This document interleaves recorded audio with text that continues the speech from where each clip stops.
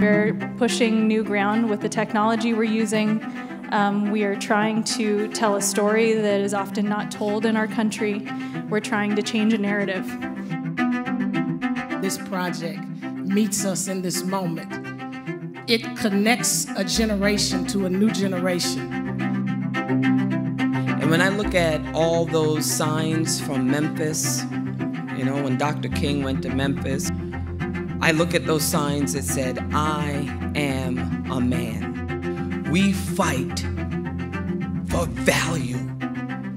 We fight to show the world that we too are humans and we deserve it all.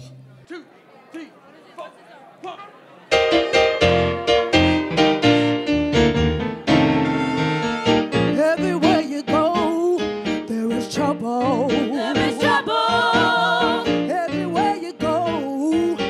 is strife. There is strife, yeah. Everywhere you go, there is something bothering you. Just remember, My God is standing by. everywhere People you go, Have been longing for There is trouble. a voice, you go, a message, and hope. And this experience can provide some of that because of what Martin Luther King has always symbolized.